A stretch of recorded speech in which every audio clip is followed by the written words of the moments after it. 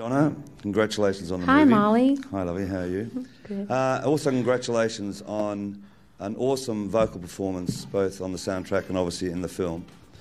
Uh, just going back and knowing your career for a long time, and going through the songs um, in Evita, uh, if they were to do maybe the life story of Madonna, uh, I would say that songs like Another Suitcase and Another Hall uh, would be very prevalent, considering the time that you took from going from what you were to New York and having to fight so hard. Would you agree?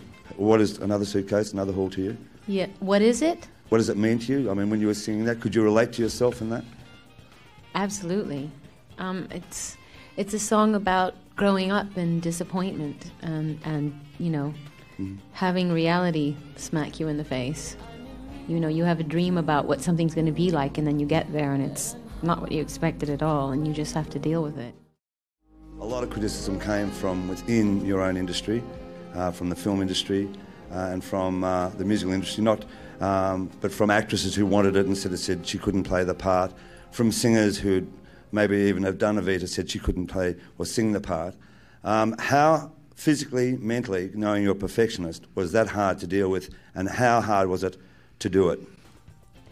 it gave me more of an in- impetus to, to sort of prove them wrong. You know, it gave me more fuel to, to say I'm going to I'm going to do it and I'm going to prove them wrong and I'm going to show them. So they actually helped me.